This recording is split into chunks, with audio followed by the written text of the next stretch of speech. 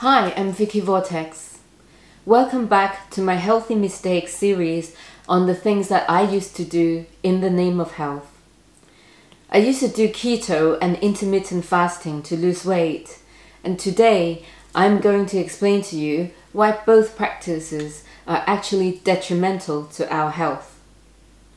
While some benefits can be gained from any diet that eliminates processed foods like candies, cookies, and fried foods. There is only so far that a high protein, low carbs diet can take you when it comes to health. Following a keto diet is damaging for your body and your brain, even if it's a plant based keto diet. Some people experience weight loss on a keto diet due to the loss of water retention, but it's important to understand that these improvements are short lived. The problem is, it's not possible for your body to go into ketosis if you are eating any form of sugar found in nuts, seeds, avocado, cheese, butter, tomato, or green juices, unless someone is eating only bacon three times a day, which I don't recommend, they're not entering ketosis. In fact, you don't run on fat. We run on glucose. If it was true that our body could flip from burning glucose into burning fat for energy, then it would be impossible for someone who's overweight to starve. Fat does not convert into usable material to, for our bodies.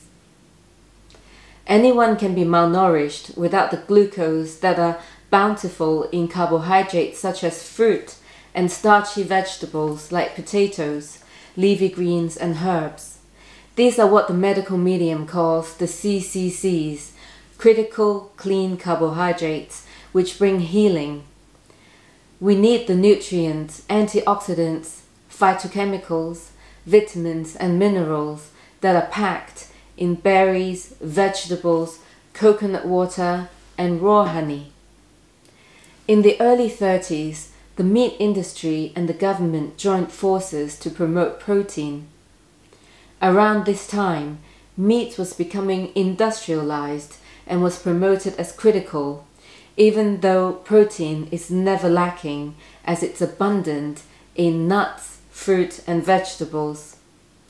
Nowadays, people continue to consume an excessive amount of animal protein, which translates into animal fat there is no such thing as lean meat, actually. This increases the fat content in our blood, which leads to a lack of oxygen to our heart and brain, leading to strokes and heart attacks. Also, glucose can't enter into our cells when it's wrapped in fat molecules. Then insulin rises in an effort to get the much needed glucose into our cells which leads to insulin resistance. You can say that diabetes is actually caused by a high fat and not a high carbs diet.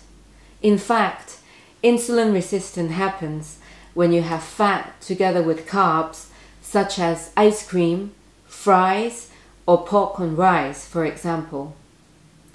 However, the true cause of the most chronic health conditions including weight gain, are actually viruses, bacteria, heavy metals, and toxic chemicals.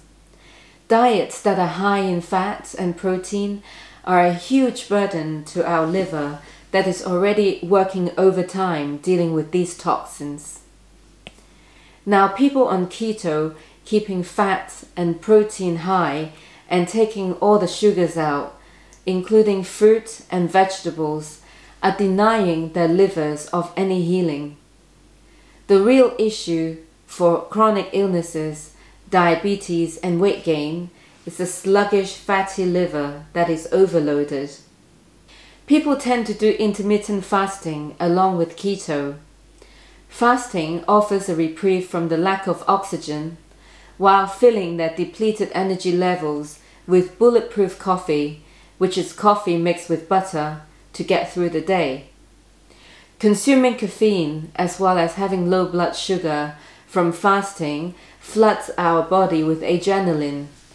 which is secreted in an effort to clean up your blood as there is too much fat in the bloodstream from the keto diet.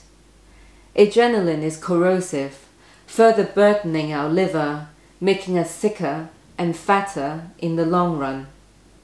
If you've enjoyed this video, please like, share and subscribe to my YouTube channel. Click on the link below for my blog or log on to vickyvortex.com for more details. Until next time, stay healthy, stay vibrant. Thank you for watching. Bye for now.